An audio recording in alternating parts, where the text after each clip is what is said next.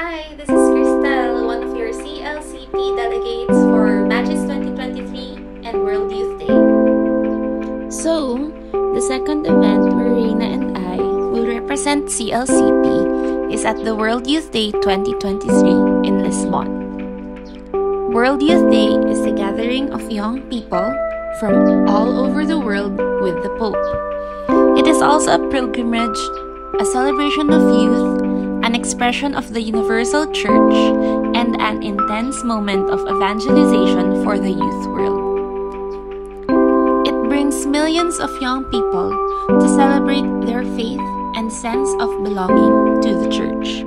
It is a new stimulus to the faith, hope, and charity of the entire host country community. With young people as its protagonists, World Youth Day also seeks to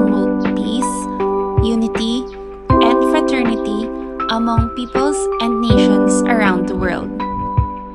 Over the course of a week, young people from all over the world are welcomed, mainly in public and parish facilities or family homes.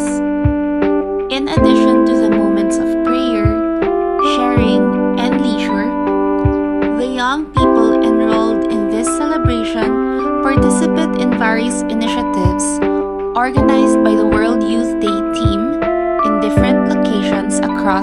host city. The highlights are the celebrations for which the Pope is present, such as the welcoming and opening ceremony, the Way of the Cross, the Vigil, and on the last day, the closing Mass.